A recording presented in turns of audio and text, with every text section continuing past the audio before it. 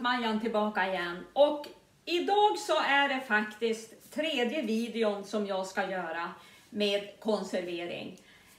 Sen ska jag ha ett litet uppehåll och så kom lite annat inom samma, ja, inom samma grej, då, inom olika konserveringar.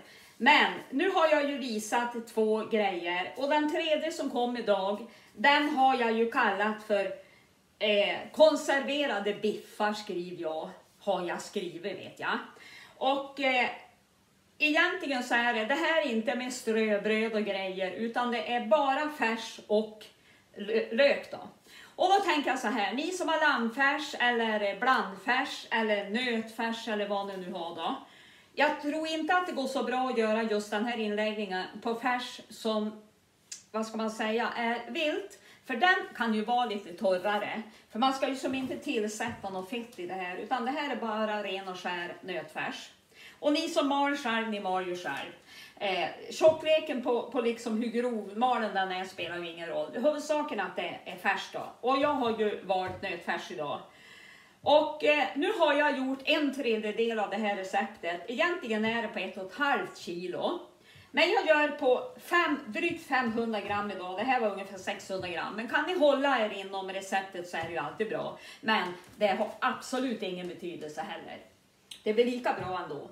Skillnaden mot idag, mot, nej skillnaden mot idag, skillnaden mot de andra videorna jag visade är att vi ska lägga in på en sån här som har en hyfsat rak hals, höll jag på sig, mun, rak hals med gummiring.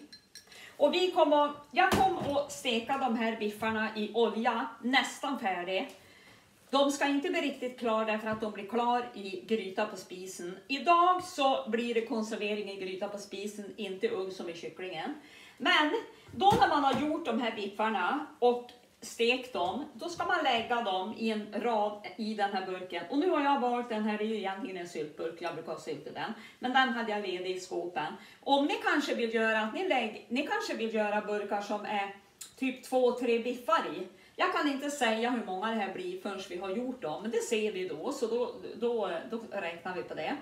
Eh, då ska man bara lägga på en höjd ungefär hit upp och så ska man slå på köttbuljong. Men då var det så här att idag när jag filmar så ska jag göra grönsakssoppa. Då hade jag tagit fram grönsaksbuljong från frysen, den här ni har, jag har pratat om tidigare. Som jag har haft i såna här små burkar i dem. Och därför så har jag tagit grönsaksbuljong och jag anser att det har ingen betydelse. Men har ni så ni kan göra köttbuljong eller ha buljong, köttbuljong, då tar ni den. Men jag tar grönsaksbuljongen. Den är ganska så koncentrerad. Egentligen är det en, det blev inte en fond, men det blev inte en buljong heller. Det blev något mellanting mellan fond, fond och buljong. Så jag har ju som sagt slagit på vattnet då. Man kan in, jag kan inte riktigt säga, men ni gör ordning buljong så att när ni slår med på biffarna här då, då, då ska ni täcka biffarna. Så har ni, om jag säger så här, att ni har biffen hit upp, då måste ni täcka biffen. Så då då... Eh, jag tror att det här är ungefär ganska precis. Nu ska vi se om jag tar med glasögonen. Det här blir 4 deciliter. Jag tror att det blir ganska lagom på burken. Men ja, den är ganska stark. Och ni blandar ju buljongen som vanligt. Men då ska jag inte surra något mer om det här, utan nu ska jag börja visa hur man lägger in biffar. Och de här biffarna håller ett år i skafferi matkällare. Och man kan äta dem som de är. De här behöver ni inte värma. Det är ättika, nej vinäger i det här. Nu säger jag ättika igen. Alltså, min egen vinäger. Och det kommer till sedan. Men då ska jag börja visa hur man gör. Då är det alltså, det här är drygt 500 gram, nästan 6. Men ni tar 500 gram. Så tjafs ner med den. Sen är det en gul lök och då har jag hackat den smått. Jag hade inte tillgång nu till någon när jag hackade i ordning den innan med någon, någon hackmaskin eller kniv. Jag drog inte fram den. Jag har finhackat löken så gott det går. Den helt gul lök, för på ett och ett halvt kilo är det tre lökar. Så jag har, det är ju precis 5, 10, 15 brukar jag tänka en lök. Då hänger med mig där i matematiken va. Nu har jag tagit på mig handskar idag, det behöver man inte alls ha. Eh, egentligen ganska onödig, Men jag vill ha det för att jag får, man får sån löklukt i händerna. Och nu såg ju ni då säkert att jag sölade igen då. Nu ska jag ta av mig mina glasögon Nu ser ni när jag lägger dem på bänken och jag vill ju inte bara fingra med dem för så nu får jag vara utan dem. Så, men det är ju så här det är i livet och det är så här det är i mitt kök. Så jag det är som jag har sagt förut, som jag håller på här så gör jag på riktigt. Så jag gör inga annorlunda för att jag filmar. Egentligen ingenting. Det är precis som om ni skulle vara hos mig. Jag skulle hålla på likadant ändå. Nu mosar ni in den här hackade löken och ni som har möjlighet, mixa den då så att den blir ganska liten. Att det blir små bitar. Ni ser nu har ju jag lite större bitar, ni ser ju här. Men ni ska bara bearbeta den så lite som möjligt. Alltså eh, tjafsa ihop den här köttfärssmeten så lite ni kan. Mindre tör blir den. Och sedan så är det en halv tesked salt och det kan du slå på direkt med löken då, men det håller här i alla fall. Det är en och en halv tesked på det stora receptet och då räknar man ju om så det blir en halv tesked salt här och så är det ju salt i buljongen. Ja.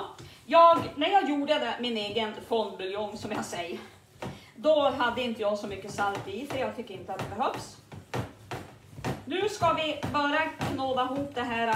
Blir man minsta osäker hur det smakar, då kan man smaka.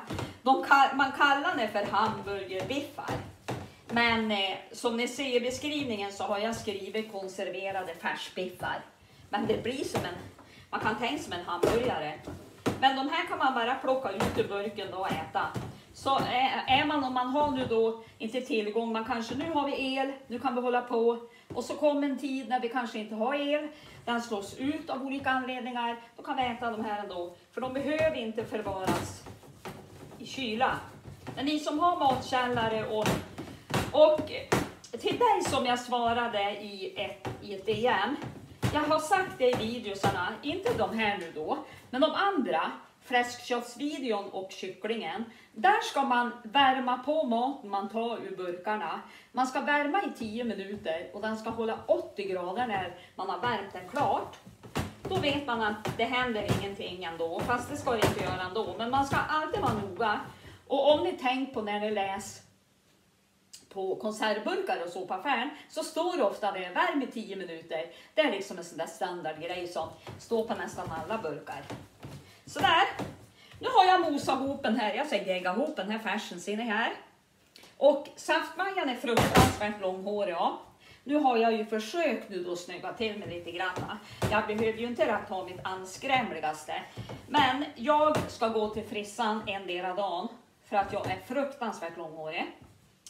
Så kanske nästa video så får ni en nyklippt Maja. Sen har jag ju pratat om att eh, vi ska, jag ska filma när jag gör eh, skaldjurspaté. Och den kommer komma upp på skärtorsdagen, för det har jag lovat eh, er att det ska jag göra. Och det vet jag det är många som tänker, åh skaldjurspaté det är skitsvårt. Men det är inte, det är bland det enklaste man gör. Men det låter svårt och då kan man briljera lite grann som jag brukar säga i köket då. Och tänka att som, åh, vad man är duktig. Men det är inget svårt egentligen. Sådär, nu har vi gjort det här. Det är inget mer än färs och lök och salt. Och det var 500 gram jag hade drygt. Det var en hel gul lök som jag hade hackat så smått jag kunde. Men har ni mix, ni kan kniva så kniva med kniven som barnen sa när de var små. Mixa med kniven då. Och så sen var det en halv tesked salt. Nu ska vi steka de här på spisen. Och eh, då har man ett knep för att få ner dem i de här. Ni vet ju, de krymper, biffen krymper, ja det gör ju all. Även om det kan vara en färs som har väldigt lite fetthals så krymper de ju lite grann ändå. Och då har jag innan nu när jag ska visa er så att jag kan visa, men jag kan visa, då gjorde jag så här. Det finns ett knep. Man kan ta ett eh, lock från en typ en ättiksgurksburk eller någonting. Och så lägger man den över den här kanten, på så över kanten här. Och då om det täcker över här, då är ju den kanten är här utanför här utanför då och då hamnar ju biffen här i. Då trycker man ut som när man gör använd typ tappervärs, eh, vad heter det, hamburgerpress. Men det gör inte jag idag utan för jag tycker att det är onödigt. Utan nu gör jag en biff som är så här typ så.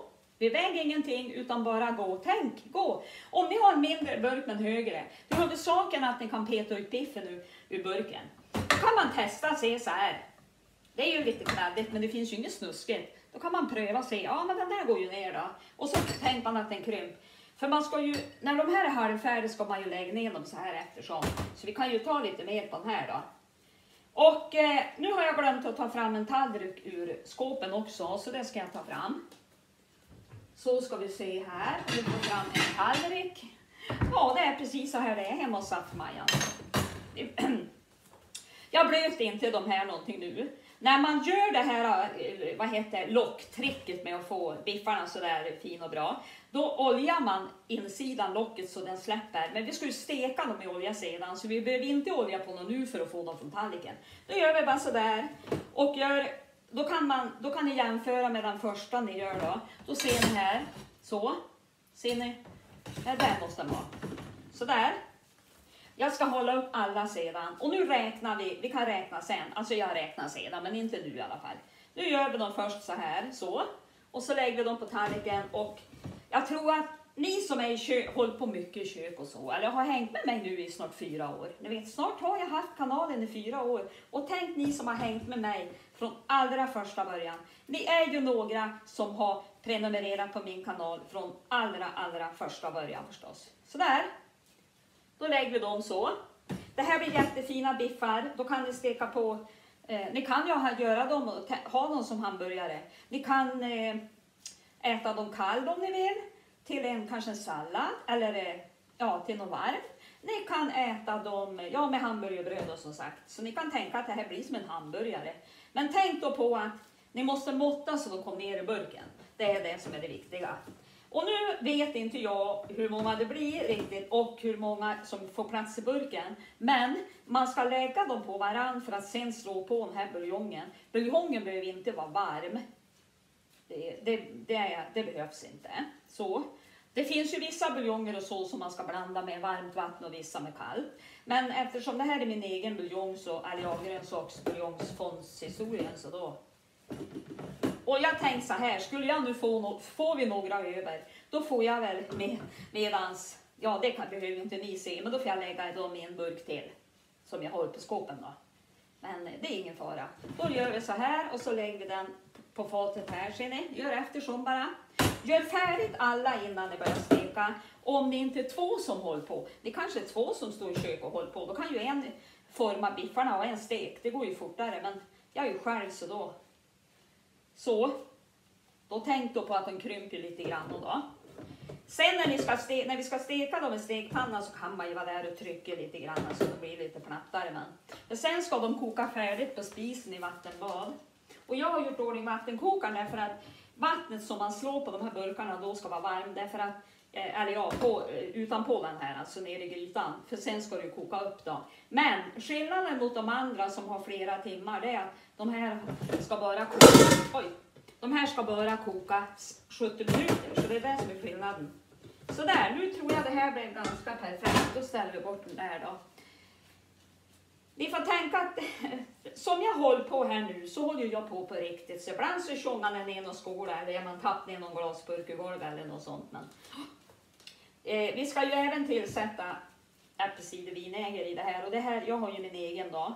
Och på den här burken, varje burk så är det eh, två teskedar om den är 5-procentig eller om jag tänker jag har gjort själv. Men har man 9-procentig äppelcidervinäger som vissa är, då är det en tesked. Skillnad mot förut så var det ju, pratade vi om måttskedar. Nu har jag gjort alla biffar. Nu ska vi steka dem. Och eh, jag ska bara stöka undan lite granna nu kan jag ju ta med de här. Jag återkommer, jag ska bara plocka bort lite grann så vi kan filma när jag är vid spisen och stek dem. Vi ses snart. Ja, nu är jag tillbaka igen och nu står jag vid spisen och nu har jag stökat undan lite grann eh, och torkat av och så. Jag tycker att det är trevligt. Alltså det gör ju jag när jag inte filmar också. Så att eh, som jag sa innan så är det ju precis som när jag eh, faktiskt, ja, det är precis som i högsta verkliga livet. Det är inte mycket, det är ytterst sällan jag faktiskt klippt bort någonting. Och nu ser jag någonting där, men det är ljuset ifrån utifrån. Och det ska vi väl vara glada att vi har fått en massa sol idag va? Jag ska hämta mina glasögon bara så att jag... Sådär. Det är det här, fram och tillbaka med glasögon. Nu har jag tagit rapsolja, vanlig sån här, äh, ja, som jag har när jag bakar allting. Och så har jag startat plattan och jag tror att jag kan steka alla biffar på en gång. Det är en helt vanlig olja, ni behöver inte, ha inte smör eller någonting. För det ska inte vara det ska inte vara smör och fett och så. Det är därför det inte är något, det är därför när vi stek de här, eller gör, gör de här biffarna så är det ingen mjölk eller ströbröd eller någonting sånt heller. Och då gör jag så här att jag har så stor stekpanna så att jag steker alla på en gång. Och när jag har stekt dem ungefär kanske någon minut, några minuter på varje sida, då lägger jag tillbaka dem på den här tallriken. Ska, jag ska bara rengöra den lite grann så det inte är råfärsen kvar. Nu hör ni hur det fräs. Ni ser här på stekpannan här. Och så är det vattenkokaren som låter om, det, om ni hör något sånt. Jag sätter av den här lite grann så att inte persen tar Så. Sådär. Sen när vi har hällt på den här buljongen då på den här burken sen, när vi har fått ner alla bitar, då ska vi torka av med papper eller om ni har tyg eller vad ni har. Och torka av gummilisten, gummilocket, kanterna och allting, vinäger, när vi har. Men jag har ju en massa egen fortfarande äppelcidervinäger kvar. Så tänk så här att några minuter på varje sida, de ser ju ut så här och då tänker du, de krymper lite grann då. Ni kan vara där och trycka lite grann av stekskalan om ni vill, men alltså det är ju inte nödvändigt. Eh, och som jag sa i början, nu har jag samtidigt på spis, ni ser ju här, här i, eh, vad heter grönsakssoppan som vi ska äta till middag idag. Så när jag filmar det här den dagen, då är det faktiskt en måndag. Då, ska vi, då vet jag att, ah, Safajan, de åt grönsakssoppa till middag. Ja, om nu någon vill veta det. Det vet man ju inte men. Nu har jag inte dubbla stekspadar eller någon annan slev utan då får vi väl använda händerna då. Men det går ganska bra att vända dem ändå. För de kokas ju liksom klar i burken. Sedan, vi ser vad fin de blir. Och då ska vi lägga dem snyggt och fint i den här burken sen. Det är därför det inte gör någonting om nu den här buljongen skulle vara varm. För ni har haft varmvatten för att kunna lösa upp buljongen. Men eh, man kan också bara smula ner, om ni har buljongtärning då, då kan ni smula ner tärningen i det här vattnet bara. För det gör ingenting att buljongtärningen inte har löst upp sig. För det löser ju upp av värmen på spisen. Och sen då, kan visa någonting när jag värmer. Då har jag gjort ordning den här grytan. Och nu måste jag ha en annan gryta idag för den här burken var så hög. Och så får jag ta min gjutjärnsgrytas lock till, men det går ju bra det ja. Och så en handduk i botten. Det är bara för att har man flera burkar, då kan det ibland bli att de, om man har flera burkar kan det bli att de, eh, de eh, kokar mot varandra. de far mot varandra. Men har man en handduk i botten, då gör de inte det. Men jag har den ändå för att inte grytan, nej, burken ska koka sönder. Så det är inte bara när jag har flera, utan det har jag när jag har en och som sagt så blir det här den sista videon nu för den här omgången. Det är tre stycken konserveringsvideor. Vill ni att jag ska visa något annat inom det här eh, nu snabbare, då får ni skriva en kommentar. Men annars så kom lite annat. Jag ska baka ur min mammas gamla bok som jag har tagit reda på från henne, där jag berättat att jag var och hämtat den. Ska förvaras väldigt fint på hyllan där ovanför mig här. Och eh, sen, så jag ska baka lite ur den och så blir det ett också en matvideo faktiskt som ska få komma upp tror jag torsdagen efter, ja på vårt sportlov och torsdagen efter skärtorsdagen. Och då blir det en, en torskfilm, en, en film på, som jag gör på torsk som jag åt jättemycket på 90. Det var så här bara, ah, jag fick crash på den där kulturfisken. Det ska jag åt matvinnerska återuppliva. Men eh, nu har de här stekt ungefär tre minuter på varje sida. Då stänger vi plattan. Då ska jag visa hur de ser ut. Då ser de ut så här. Om ni ser, det är bara väskan från oljan. Den ska man inte spara. Nu så lyfter jag upp de här biffarna så. Och nu är de varm. Så det kan hända att jag kanske måste ta på mig några handskar igen. Ni ser, de är, om jag ska dela på de här nu så är de inte riktigt färdiga. Och de ska inte vara riktigt klar. Därför att de blir som, som jag sa klar i burken på spisen då. Men det går mycket, mycket fortare att koka de här än att koka kött. Det förstår ni, när det är färsen så går det ju fortare. Då ställer vi, häver bort den Så, så diskar vi väl upp den sen då. Nu så ska jag gå och hämta ett par handskar. Det är tur man har, som jag har sagt förut, man har nära till allting. Så nu är jag ju tillbaka igen. Jag har ett, inte så jättestort kök, men väl fungerande. Jag har haft stora bondkök också, men det här funkar precis lika bra. Sådär, nu lägger vi bort det där kladdiga pappret. Nu har jag förberett min buljong här då och då tänkte jag det att räcker inte buljongen då, då får jag eh, ta lite vatten från kramarna. Nu ska vi lägga ner de här biffarna snyggt och fint i burken i en fin ordning. Ner med dem och ni lägger dem på varandra. Nu ser mina blev lite för små men ser ni här, men det gör ingenting. De behöver ju inte vara precis exakt eh, så att de går ner heller men det, det är ju bra om de går ner någorlunda. När ni har öppnat den här burken så kan ni bara stänga den igen. Ni behöver inte tänka att ni ska ni behöver inte tänka att de ska, ni ser när jag lägger ner dem så här, nu hamnar de ju inte precis rakt på varandra. Och man kan vara där och trycka lite grann så man får ner dem utan att mosa sönder dem. För vi vill ju inte mosa sönder biffarna. Sådär, nu tar jag av mig handskarna igen då. Det, varför jag har är bara för att de är så varma. Ni ser ju här. Nu ska jag se om jag kan hålla under. Då ser ni här att de ligger här. Och skulle ni då ha gjort biffarna så att de är jätte, precis exakt efter burken, då, då släpper ni ner dem på varandra och då kan ni använda er om ni vill av det här locktricket som jag sa. Men eh, jag tycker att det här funkar bra. Sådär. Nu ska vi slå på den här buljongen då som jag har, fondbuljongen som jag sa, eller buljongfonden. Nu häller vi det så att det ska täcka någorlunda biffarna då. Ser ni när jag häller? Så, häll fint och försiktigt så ni inte häller så fort så biffarna går sönder.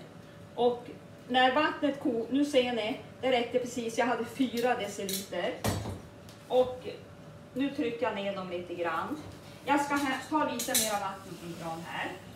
Nu var ju det här kallt och som ni förstår, men det, det här kommer ju att bli bra. Så. Där. Sen så kom vi, nu kan jag ju ta den här vispen då och trycka ner, ni ser så, så det hamnar under någorlunda. Det får ju, kan ju inte vara jäsa över heller, men nu är det den här, det här är min egen äppelcidervinäger. Och jag tar då två teskedar, men har ni en starkare från affären, då tar ni bara en tesked per burk. Men jag tar två teskedar och det skriver jag i receptet också. Då tillsätter vi den så här. Och det är ju därför att sådana här konserveringar, för att man ska undvika botulism, då ska den ha en, man säger syrahalt på 5 och när jag inte kan säga riktigt vad min äppelcidervinägel har, jag har inte räknat hur man räknar det, då tänker jag då är det väldigt bra om man tillsätter den mängden. Nu ser ni, nu ska få se, nu ser ni hur det simmar runt här. Ser ni? Ska jag hålla upp så ni ser? Ser ni här? Och när det här har börjat koka då på spisen, då ska det koka från koktiden under lock i 70 minuter. Så nu så ska vi bara ta det här och så tar jag det här pappret, det var ju, har jag ju tagit fram enkom. Så doppar vi det i äppelcidervinägen och sådär. Och så torkar vi, kan torka den här, fast den är ju på utsidan, men torka av här uppe så, ni, så det är rent här uppe. För att även om ni har, ser, du här, ser ni här? Även om ni har liksom hällt i här i så, om man har varit försiktig så kan man ju vara det där med och fingrar. Och så torkar ni av insidan av locket, sen här, torka av här. Och gummilisten här. Så, och så här då. Det är bättre att ni torkar för mycket än för lite. För det händer ingenting. Och så stänger locket. Pang tjong så. Sen så ska vi stoppa ner den här. Och nu har jag hört att vattenkokaren har kokat färdigt. Eh, nu är ju den här inte så varm eftersom biffarna han kallna lite grann och min buljong var ju kall. Ja, kall, halvljummen i alla fall. Så nu ska jag ställa den här på plattan här bara. Så. Och så startar vi plattan igen. Vi har ju inte behövt stänga av den då. Eh, jag tror för säkerhets skull att det inte är för hets att burken går sönder så ska jag faktiskt ta lite kallvatten. Då gör det inte. Jag är så rädd att burken ska spricka. Det är därför man ska stoppa ner den från kallt. Sen när ni sätter ner den nu då, ni kanske har varma, hetare buljong, ni har heta, hetare biffar, då behöver ni inte göra som jag. Men hur som helst så ska ni slå på vatten. Nu ställer jag ner den här i grytan. Såg ni så? Nu ser ni ju locket här. Då kommer den att täckas av mitt gjutjärns här då. Det här är ju ett block med hål, men det gör ingenting. Det har väl saken att det kokar. Nu ska jag slå på det här och se om jag behöver något mer, vilket jag säkerligen behöver. Då. Så. Och så tar vi resten av det vi har i vattenkokaren. Vi ska ju inte slösa på något. Och jag har startat plattan. Och vi måste ha full effekt för det måste koka upp. Vattnet ska vara upp till lockets början. Så jag behöver vatten ända hit upp till järnet. Ser ni här där jag pekar? Här, här tycker jag locket börjar. Det börjar ju här vid gummiristen. Mm. Så det räcker med vatten dit upp.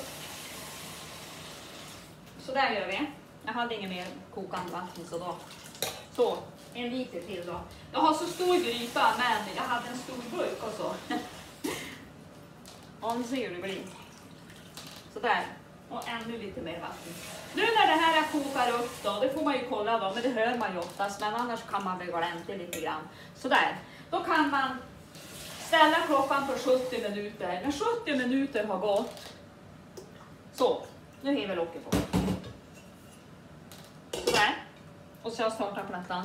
När 70 minuter har gått, då stänger ni plattan, eh, dra den från sidan, låt burkarna kallna i eh, grytan då.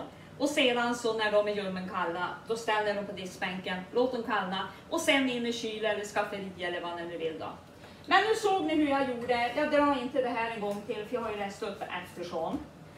Eh, ni kan gå in i så fall så kan ni gå in och lyssna från början och det står ju också i beskrivningen hur man gör. Men nu har jag startat plattan så nu får det här börja koka upp. När det börjar koka 70 minuter, sen är det klart, sen ska det vara kallna. Men jag återkom när 70 minuter har gått så, ses vi, så får ni se hur det ser ut i burken när det är färdigt.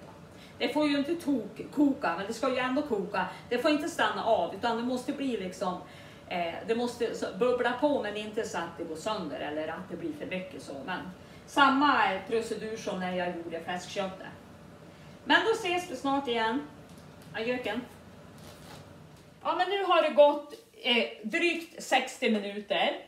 Och eh, ni som har tålamod, ni kan låta det gå 70 dagar, men i alla fall en timme rekommenderar man. Och den här är het som svedden så jag vill inte plocka upp den ur. Jag har försökt att lyfta upp den, men eh, ni, om ni tänker kokande biffar i en burk. Eh, så jag vill inte hålla på att lyfta upp den nu, utan den här ska kallna utan lock i grytan nu här på sidan om. Så här ser det ju ut nu då. Det har ju bara stått och koka. Och eh, Eh, så då ska ju det här kallna nu då och då är det ju som egentligen inget fett mer än fettet ifrån färsen om man säger. Så det kommer liksom att stanna till lite granna. Nu är den här konserverad och då kan ni, kan ni, den här kan man faktiskt äta kall som den är om man blir hungrig. Man är någonstans och man har inte tillgång till, ja, till att värma maten då. Eh, innan jag slutar för idag, då, då ska jag dra det här en gång till. Jag hade en lök, en halv tesked salt och så hade jag drygt 500 gram färs. Jag hade nästan 600 men tänk 500. Och så ni som kan mixa löken i mixaren, men jag hade ju hackat smått. Sen blandade ni ihop den där färsen då med löken och det och saltet. Sen formade ni biffar som går ner i burken. Ni såg jag gjorde inte det här lockknepet som jag tipsade er om i början. Utan jag gjorde biffar som jag måttade på ett ungefär i öppningen på burken då. Och så sedan så, när ni har gjort de biffarna klar, det bästa är ju om ni kan steka alla samtidigt. Då stek ni dem halvfärdiga. Tänk 2-3 minuter på varje sida. Sedan så lägger ni upp dem på en tallrik eller ett fat. Och så sen så när ni kan hantera dem, ni kan ju ha handskar, så lägger ni ner dem på varann egentligen. Men jag la dem lite så här omlott så här, tänk som tegelsten som man lägger ut. Sen slog jag på, jag hade grönsaksbuljong. Men i receptet är det köttbuljong. Men har ni inte det så då tar ni det ni har. Och jag hade ju som sagt min egen då. Och så fyllde ni upp så att det hamnade buljong ovanför biffarna. Sen så då hällde ni på varmt vatten på det här och ni såg jag fick ju ta då kokande vatten och kallvatten för jag var rädd att burken skulle spricka. Men ni som har hetare, ha en varm buljong när ni slår på biffarna. Ni kan slå på kokande vatten från, från eh, vattenkokaren då. Sen ska det koka från att det börjar koka upp då, den tid jag sa i början då, alltså dryga 60 minuter. Och sedan så ska det kallna i grytan och sen så plockar man upp och förvarar det i kylskåp eller vad man nu vill då, skafferi, matkällare. Och i slutet då när ni har slagit på buljongen, då har ni en tesked 9% i vinäger, eller som jag gjorde min egen. Och då tog jag två teskedar per burk är det. Så beror på hur många burkar ni gör då. Och sedan så, ja då såg ni hur jag gjorde. Då får jag tacka så mycket för att ni har tittat på mig idag. Jag tror inte jag har glömt någonting. Ni ser ju hur jag gör. Jag skriver i beskrivningen också vad jag använder för någonting. Men tillvägagångssättet hur jag gör det får ni se i videon. Men då får jag tacka så mycket för att ni har hängt med mig här, mig här idag och eh, hoppas verkligen ni vill testa det här. Och ska jag samtidigt hälsa på, eh, passa på att hälsa alla nya prenumeranter välkommen också. Men eh, då blir det väl det jag berättade om i början på videon nästa gång då. Och ni kommer ihåg vad jag sa att det var då. Men eh, då ses vi nästa gång. Tack så mycket för idag och hej då.